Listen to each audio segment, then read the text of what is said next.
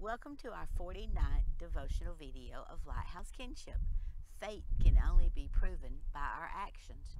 Joshua chapter 1, we read three times the Lord charges Joshua to be strong and very courageous.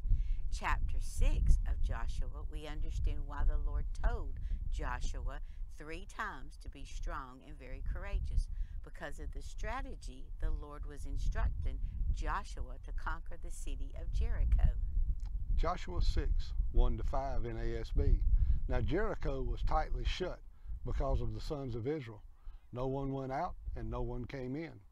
But the Lord said to Joshua, See, I have handed Jericho over to you, and its king and the valiant warriors.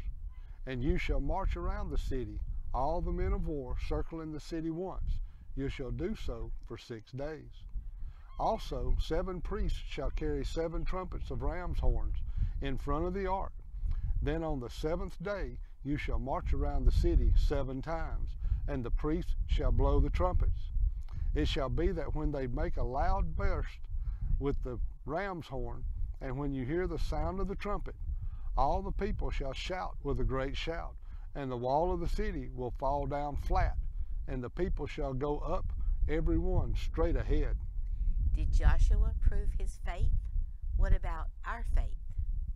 Today's Friday, February 18th, 2022. Monica and I are here at the Fort Pulaski National Monument, Savannah, Georgia. Can we learn from Joshua that when we put our lives in God's hands, we will certainly need to be strong and very courageous? Because following God's instructions will require us to prove our faith to Him, the Creator of heaven, earth, and all that inhabit the earth. Psalm 121, verse 1 NLT. I look up to the mountains. Does my help come from there? Proverbs 29, 25 NLT. Fearing people is a dangerous trap, but trusting the Lord means safety. Just as Joshua put his life and the lives of his people into God's divine hands, not the universe, nor just any human, where did Jehoshaphat put his faith? Where do you put your faith? Second Chronicles 20, verse 1, 3 to 6, and 12. Later on the armies of the kings of Moab, Ammon, and of the Meunites declared war on Jehoshaphat and the people of Judah. Jehoshaphat was badly shaken by this news and determined to beg for help from the Lord. So he announced that all the people of Judah should go without food for a time, in penitence and intercession before God. People from all across the nation came to Jerusalem to plead unitedly with him. Jehoshaphat stood among them as they gathered at the new court of the temple and prayed this prayer. O Lord, God of our fathers, the only God in all the heavens, the ruler of all the kingdoms of the earth, you are so powerful, so mighty. Who can stand against you? O our God, won't you stop them? We have no way to protect ourselves against this mighty army. We don't know what to do, but we are looking to you.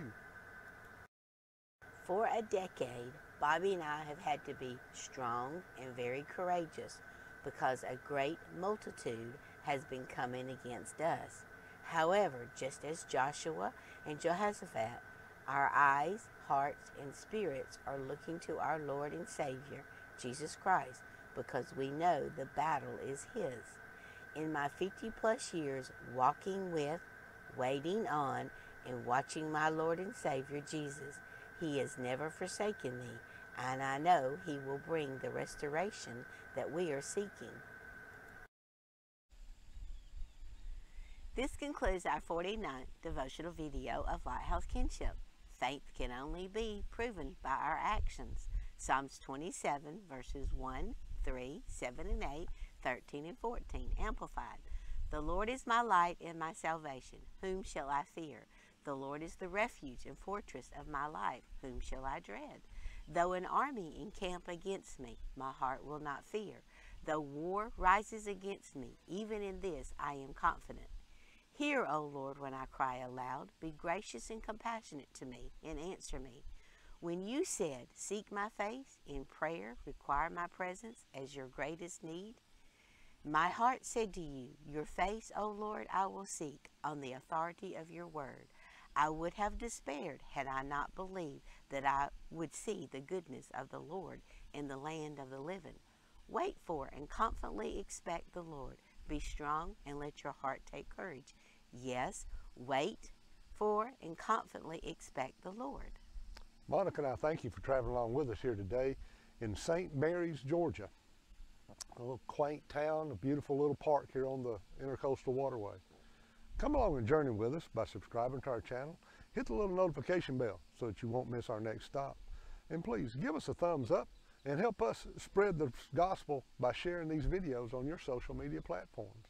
2 Timothy 4:2, the Living Bible, to preach the Word of God urgently at all times whenever you get the chance, in season and out, when it is convenient and when it is not. And the verse goes on to say, encourage them to do right, and all the time be feeding them patiently with God's Word. Thank you for leaving your comments below on how these devotions are helping you in your prayer requests so that we can pray for you.